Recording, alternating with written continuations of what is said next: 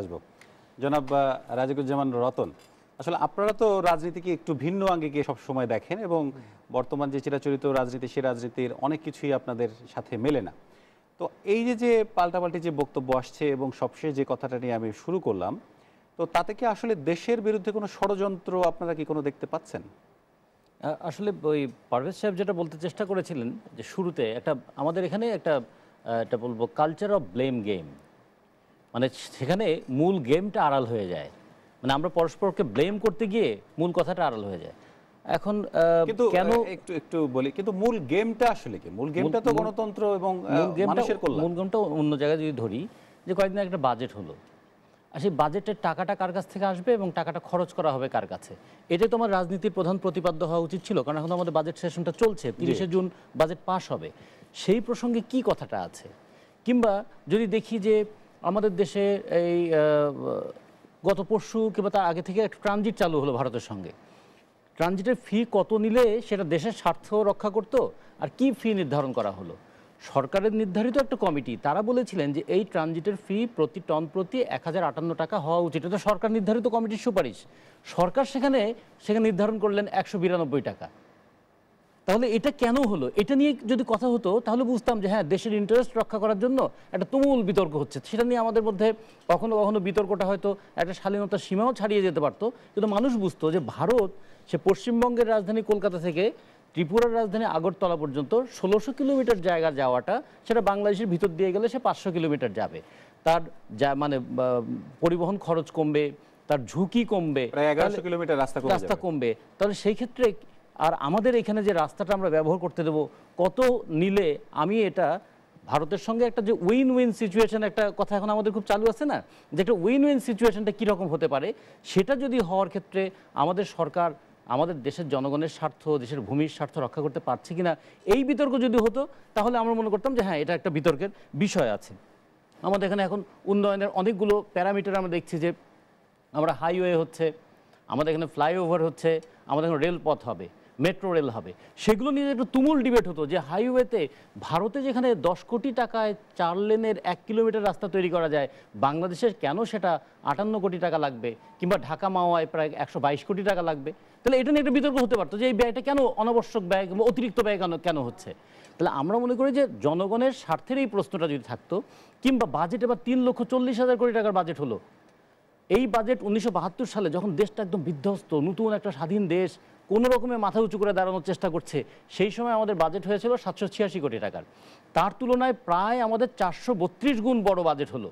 তাহলে সেই সময় দুর্দশাগ্রস্ত দেশ, সে তার শিক্ষায় সে তার স্বাস্থ্যে যে পরিমাণ বরাদ্দ করার তার মনোভাব ছিল, আজকে বাজেট এত বড় হচ্ছে, কিন্তু আমাদের শিক্ষা এবং স্বাস্থ্যে সেই তুলনায় বরাদ্দ বাড়ছে না। কেন? কেন স্বাস্থ্যের বরাদ্দটা পৃথিবীর সর্বনিম্নের মধ্যে আমরা আছি? কেন শিক্ষার বরাদ্দটা বাহাত্তর সালের তুলনায় হলে এবার উনসত্তর হাজার কোটি টাকার শিক্ষার বরাদ্দ হওয়ার কথা ছিল? যদি বাহাত্তরের স্ট্যান্ডার্ডে আমরা থাকতাম, সেইটা কেন আর অর্জন করতে পারলাম না? টাকা নাই বলে? তাহলে অন্য অন্য অনেক ক্ষেত্রে তো টাকা বরাদ্দ করার টাকা আমাদের আছে। আমাদের কৃষি যেটা আমাদের দেশের অর্থনৈতিক ভিত্তি দাঁড় করিয়ে রেখেছে, কিংবা আপনি জানেন যে আমাদের শ্রমজীবী মানুষ, এই বাজেটে তাদের জন্য কি আছে, কি নাই, এইটা নিয়ে এই জুন মাসে সবচেয়ে বেশি বিতর্কটা হওয়ার কথা ছিল। কিন্তু জুন মাসে বিতর্ক কি হচ্ছেন? খালেদা জিয়া বলছেন, আওয়ামী লীগ দেশের স্বার্থ দেখছে না। এখন আওয়ামী লীগ আবার বলবে বিএনপি এই দেশের বিরুদ্ধে ষড়যন্ত্র করছে। তাহলে মূল যে দুই পক্ষ এমন একটা পরস্পর প্রতিদ্বন্দ্বী অবস্থায় দাঁড় করিয়ে ফেলল পরস্পরকে, এবং এই দুই দলের সঙ্গে তো লক্ষ লক্ষ মানুষ যুক্ত হয়ে আছে না? তাদের নেত্রীদের কথা শুধু ব্যক্তির কথা নয়, তাদের নেত্রীর কথা আবার দেশের প্রান্তে প্রান্তে ছড়িয়ে পড়ে। এটা দ্বারা মানুষের একটা মনোভাব তৈরি হয়। সেই মনোভাবের মধ্যে কিন্তু আর যুক্তি থাকে না সেই মনোভাবের মধ্যে গণতন্ত্র থাকে না সেই মনোভাবের মধ্যে দেশকে নিয়ে কোন প্রশ্নে বিতর্ক করব সেই প্রশ্নটাও থাকে না। ফলে আমরা মনে করি এটা পরস্পরকে ব্লেম করতে গিয়ে বাস্তবে আমাদের রাজনীতিটাকেই আমরা একটা বলব মার্জিনালাইজ করে ফেলছি। রাজনীতির আলোচনাটাই আর রাজনীতিতে নাই। মানে অনেক দূরে চলে যাচ্ছে। আপনাকে ধন্যবাদ। আপনার কাছে আবার জনাব রতন আসলে আহ, আওয়ামী লীগ এবং বিএনপি যে কথাগুলো বলেন তারা এবং একটি বিষয় এসছে যে জাতীয় ঐক্যের ডাক কিন্তু বিএনপির পক্ষ থেকেও বলা হচ্ছে এখন এবং আওয়ামী লীগের পক্ষ থেকে একটি শর্ত জুড়ে দেওয়া হয়েছে, সেক্ষেত্রে জামাতের একটি বিষয় আছে। তো আপনি কি মনে করেন যে জামাতকে এখনই ছাড়ার সময় হয়েছে বিএনপির?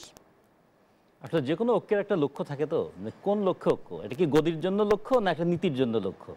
যদি একটা নীতির জন্য লক্ষ্য হয় যে আমরা বাংলাদেশ নামক রাষ্ট্রটাকে আমরা পরিচালনা করতে চাই, তাহলে প্রথমে একটা প্রশ্ন আসে, যে দলটা বাংলাদেশ নামক রাষ্ট্রের অস্তিত্বকে কখনো স্বীকার করেনি অথবা যারা বাংলাদেশ নামক রাষ্ট্রের গড়ে ওঠার প্রক্রিয়ার বিরোধী ছিল, সেই দলের সঙ্গে আমার সম্পর্কটা কেমন থাকবে এটা একটা নীতিগত প্রশ্ন। ফলে বিএনপি যখন জামাতের সঙ্গে ঐক্য করার ক্ষেত্রে যুক্তি করে, তখন সেটা বিএনপি করতে পারে। কিন্তু যদি বিএনপি নিজেকে আবার স্বাধীনতার ঘোষকের দল বলে, তাহলে কিন্তু তারপর এটা ইমপ্লাইড যে যারা স্বাধীনতার বিরোধিতা করেছিল, তার সঙ্গে আপনি কীভাবে ঐক্য করতে পারেন? এটা সাধারণ মানুষ প্রশ্ন করতে পারে। এমনকি রাজনীতিতেও এই প্রশ্নটা আসতে পারে। আবার জাসদের সঙ্গে আওয়ামী লীগের ঐক্যের প্রশ্নটা যদি দেখেন, সেটাও যেভাবে আলোচনা হলো, এখন একই দেশের অভ্যন্তরে পরস্পর পাল্টাপাল্টি হতে পারে। যেমন বিএনপির সঙ্গে আওয়ামী লীগের যদি পাল্টাপাল্টি হয়, তাতে যদি কখনো কখনো খুব দুঃখজনক ঘটনাও ঘটে, তাহলে সেটাকে কিন্তু বিএনপি ভার্সেস আওয়ামী লীগ যেরকমভাবে দেখা হবে, সেটা জামাত ভার্সেস অন্য দলকে কিন্তু সেভাবে দেখা হবে না। ফলে এই দিকটা আমার মনে হয় যে আমাদের একটু প্রথমে বিবেচনা নিলে আমরা সাম্প্রদায়িক একটা বিভাজন তৈরি করার জন্য এই দেশটা তো তৈরি করি নাই ভাই। পাকিস্তান নামক রাষ্ট্র থেকে আমরা কেন স্বাধীন হতে চেয়েছিলাম? পাকিস্তান তো একটা ধর্মভিত্তিক রাষ্ট্র ছিলই। আমরা তো সেদিন বলেছিলাম যে ধর্মের ভিত্তিতে কোনো রাষ্ট্র হয় না। এমনকি ভারতও যদি ধর্মের ভিত্তিতে রাষ্ট্র করতে চায়, ভারতটা খণ্ডবিখণ্ড হয়ে যাবে। কারণ ভারতে একদিকে ভাষাগত যেমন পার্থক্য আছে, ধর্মীয় পার্থক্য আছে, এবং সব মিলিয়ে তারা ভারত রাষ্ট্রটাকে রক্ষা করতে চাইবে। যদি পুঁজিবাদী একটা রাষ্ট্র কিংবা সাম্রাজ্যবাদী রাষ্ট্র রক্ষা করতে চায়, আধুনিক গণতান্ত্রিক রাষ্ট্র যদি করতে চায়, সেখানে শুধু ধর্মের ভিত্তিতে একটা রাষ্ট্র করে পাকিস্তান নামক রাষ্ট্রটাকে কীভাবে ধর্মের নামে একটা নিপীড়নের রাষ্ট্রে পরিণত করা হয়েছিল, তার বিরুদ্ধে কি লড়াইটা আমাদের ছিল? ফলে সেই লড়াইটাকে আমরা বিবেচনা যখন করি তখন জামাতের বিরুদ্ধে আমরা এখন কথা বলি। আমার মুক্তিযুদ্ধের যে আকাঙ্ক্ষা ছিল, আমরা তো শোষণমুক্ত একটা দেশ চেয়েছিলাম। আমরা একটা বৈষম্যহীন বাংলাদেশ চেয়েছিলাম। একটা তো এমন দেশ চেয়েছিলাম, যেখানে ধর্মের কারণে কোনো মানুষকে নিপীড়িত হতে হবে না। ধর্মের কারণে একটা মাকে ভাবতে হবে না, তার মেয়েকে নিয়ে সে কীভাবে তার সম্মান এবং সম্ভ্রম রক্ষা করবে। আজকে যখন একটা মা হাহাকার করে, যে গরিব বলে কি আমরা কি বিচার পাবো না? কিংবা কেউ যখন হাহাকার করে, আমরা অন্য সম্প্রদায়ের লোক বলে কি এই দেশে আমরা থাকতে পারব না? এই দেশ কি আমাদের দেশ নয়? তাহলে তখন কিন্তু আমাদের প্রশ্নটা এসেছে আর একটা জায়গায়। যেমন ধরুন, এখন যদি বলি যে আমাদের মাথা পিছু আয় বেড়ে চোদ্দোশো ছেষট্টি ডলার হয়েছে। এই কয়েকদিন আগে একটা গবেষণা পিপিআরসির জরিপ করে তারা দেখিয়েছে, এর সঙ্গে বাংলাদেশ পরিসংখ্যান ব্যুরো বলেছে।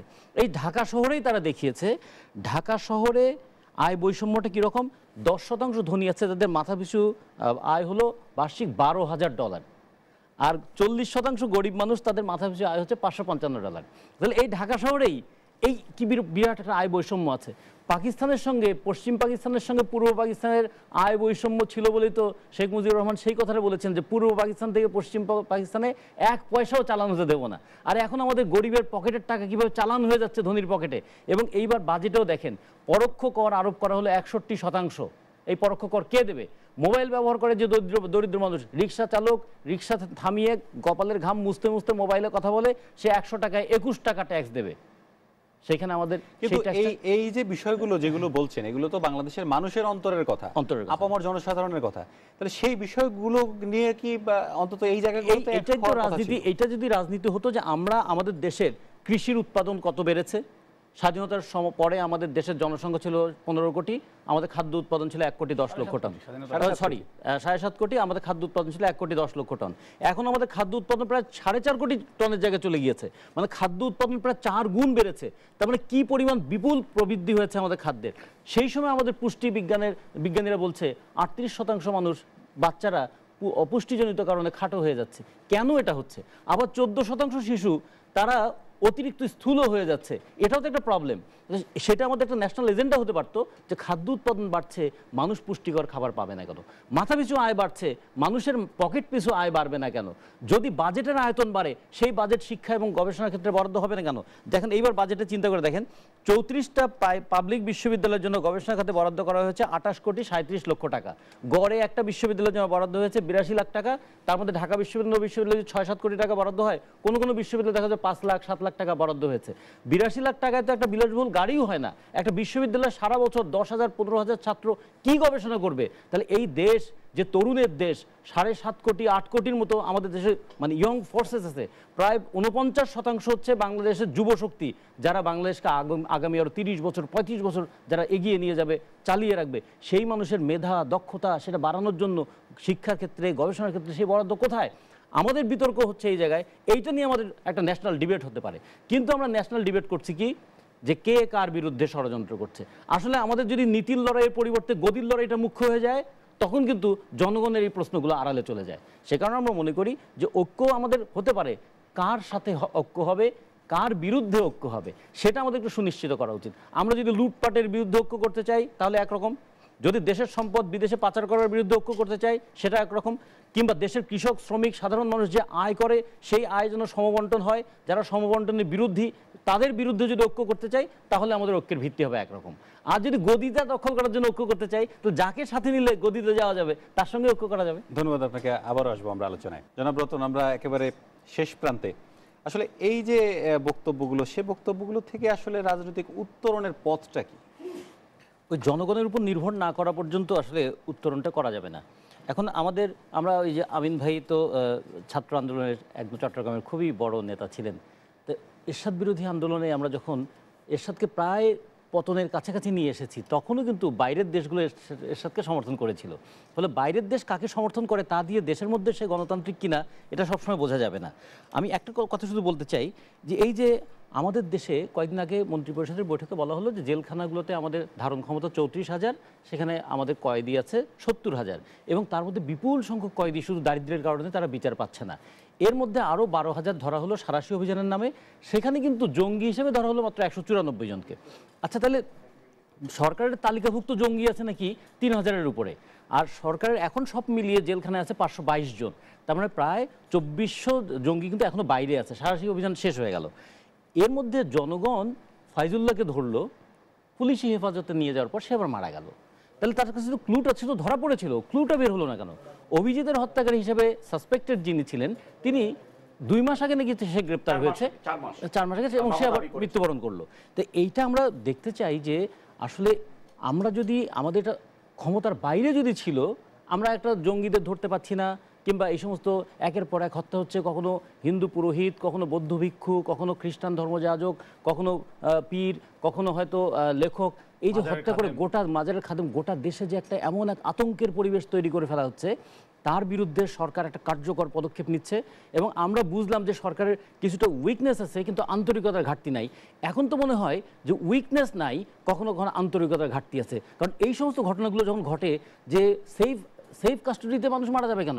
পুলিশের হাতে গিয়ে মারা যাবে কেন? তখন তো তার কাছ থেকে তথ্যটা বের করা দরকার। এগুলো কিন্তু একটা সন্দেহ তৈরি করে।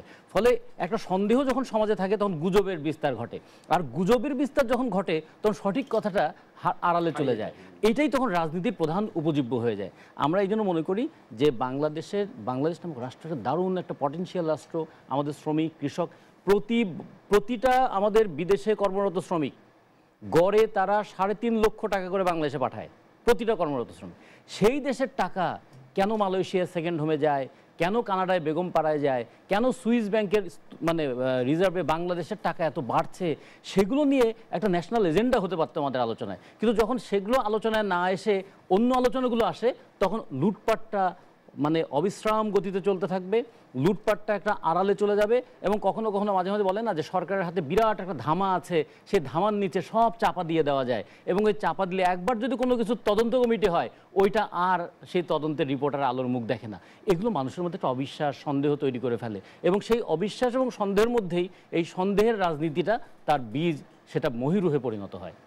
আপনাকে ধন্যবাদ আমরা অবিশ্বাসের রাজনীতি থেকে আমরা বের হতে চাই।